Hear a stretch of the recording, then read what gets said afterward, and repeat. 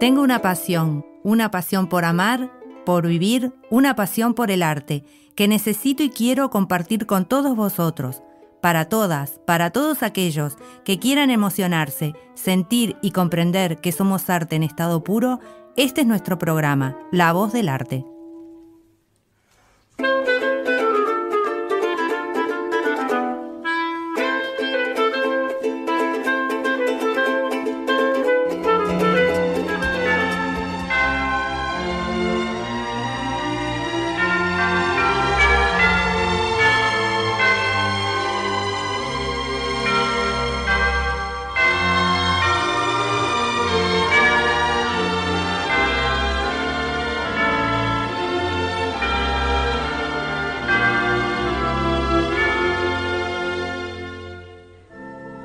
En este espacio, al que llamamos la voz del arte, no somos indiferentes a los días que estamos viviendo, días previos a los festejos por la Navidad, por otro año que se va y otro que llega, el 2021.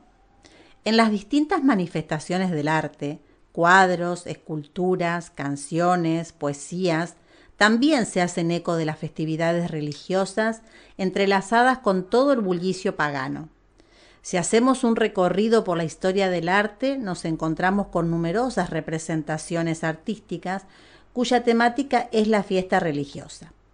En esta edición, La Voz del Arte escoge la obra La Adoración de los Magos, del pintor español Francisco Zurbarán, quien la pintó para la cartuja de Nuestra Señora de la Defensión que se encuentra en Jerez de la Frontera. Pero, ¿qué representa esta obra? Representa la Epifanía, es decir, el momento en que el niño Jesús es mostrado al mundo, que se representa en la figura de los tres reyes magos. En esta pintura el artista español hace que cada rey represente a un continente. ¿Qué continentes? Asia, África y Europa. Es por ello que uno de los reyes es de raza negra, una licencia que no fue admitida hasta muy avanzada la Edad Media. Hasta entonces los tres eran blancos. Asimismo, cada uno de los reyes representa una de las edades del hombre. La juventud en Gaspar, con su barba negra y su ropa de aire militar. La madurez en Baltasar, con su barba más poblada y más años. Y la vejez en Melchor, un anciano arrodillado con gesto de devoción a los pies de la joven madre con su bebé. Un bebé un niño Jesús mucho más vivaz y simpático que en otras representaciones.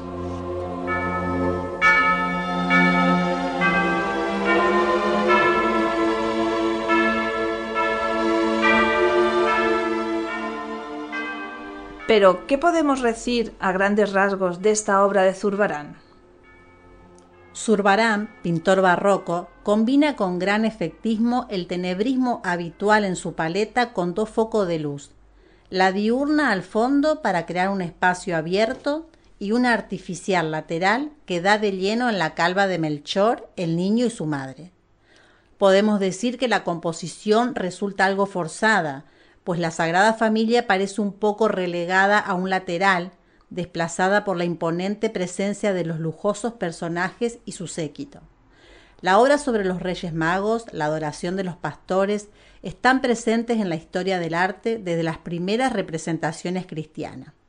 A continuación, invitamos a Marisa que nos dé una pincelada sobre lo que significó, sobre lo que fue la época barroca, para poder comprender mejor esta obra.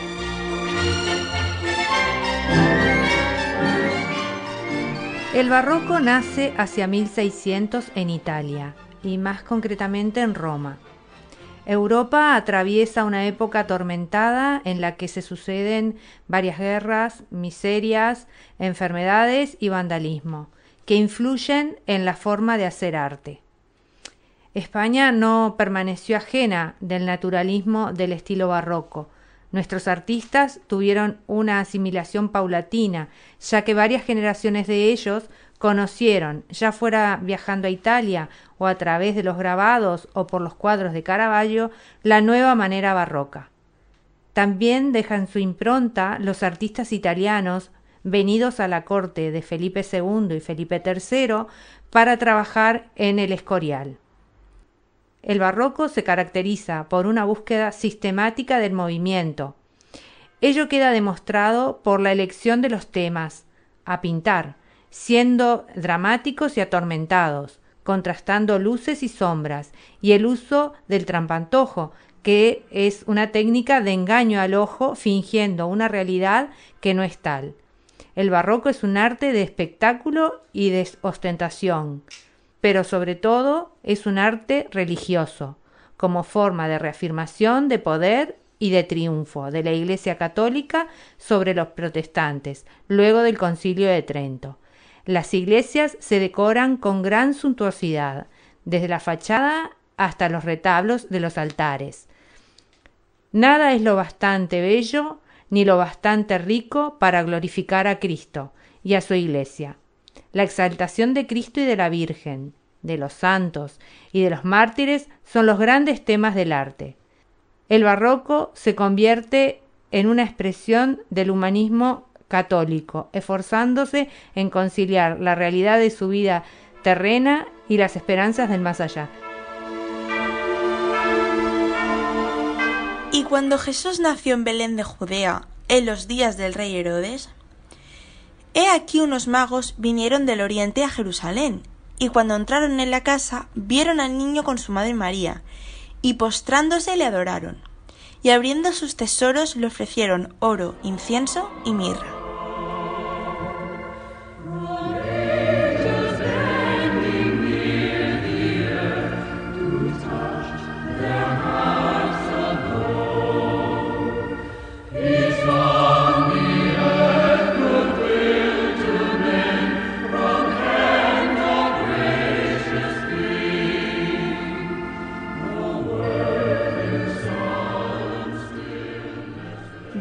A este punto del programa, consideramos oportunos acercarnos a la biografía del autor de la obra, conocer, aunque sea de manera escueta, la vida del pintor del barroco español.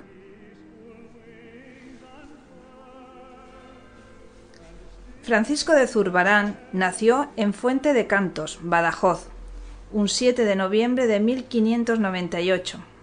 Fue un pintor del siglo de oro español, contemporáneo y amigo de Velázquez, Zurbarán destacó en la pintura religiosa, en la que su arte revela una gran fuerza visual y un profundo misticismo. Fue un artista representativo de la Contrarreforma. Sus representaciones se alejan del realismo de Velázquez y sus composiciones se caracterizan por un modelado claroscuro con tonos más ácidos.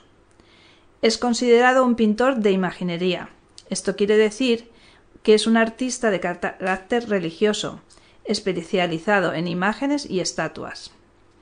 Francisco Zurbarán, contemporáneo y amigo de Velázquez, pintó esta adoración que guarda en las figuras de la Sagrada Familia cierta similitud con el cuadro de Velázquez, pero también refleja la influencia de Caravaggio en el tratamiento de la luz y la escena está cargada de lujo en los trajes y los ropajes de los magos.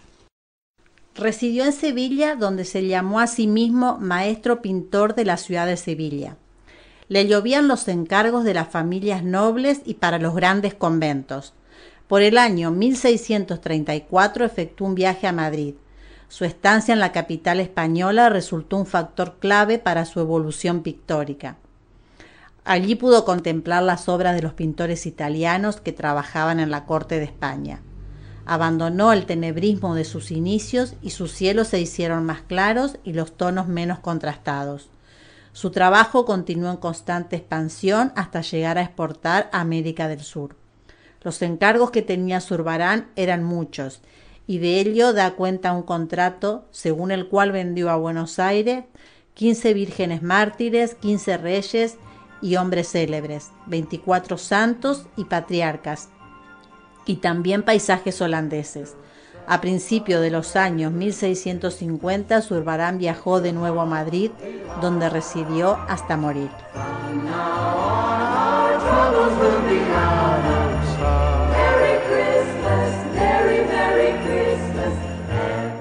Para mí la Navidad significa el nacimiento de Jesús y estar juntos con la familia.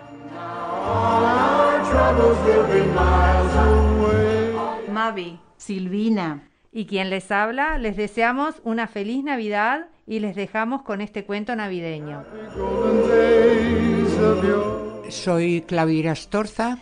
Hoy estamos a 15 de, de diciembre de 2020 y voy a recitarles, como estamos en Navidad, un poema sobre la Noche de Reyes.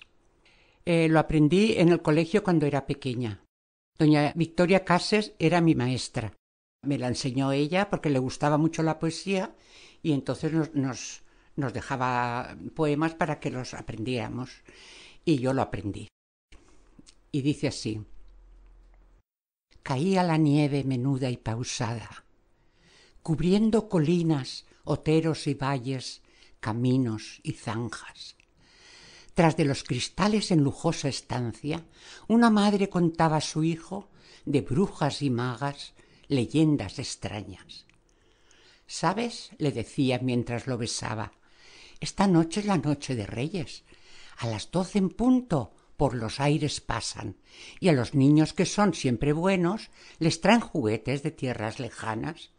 Si pones tus botas en esta ventana, ya verás cuántas cosas en ella de los Reyes Magos encuentras mañana. ¡Ay, qué gusto! gritaba el pequeño batiendo las palmas, mientras su madre en brazos lo alzaba, imprimiéndole un beso en la frente, un beso nacido del fondo del alma. Seguía cayendo la nieve pausada. Tras de los cristales, la madre y el niño seguían mirando cuando un niño harapiento y descalzo, pidiendo limosna la calle cruzaba. Mamá, mamá, exclamó el niño, mira, mira ese que pasa. Es un niño que no tiene botas. No podrá ponerlas sobre su ventana. Y los magos que traen golosinas no van a dejarle juguetes ni nada. Le digo que venga. Llámale tú, anda. Tengo más zapatos. Le voy a dar unos. Y cuando los magos pasen por su casa, ya sabrán que allí duerme otro niño y traerá juguetes de tierras lejanas.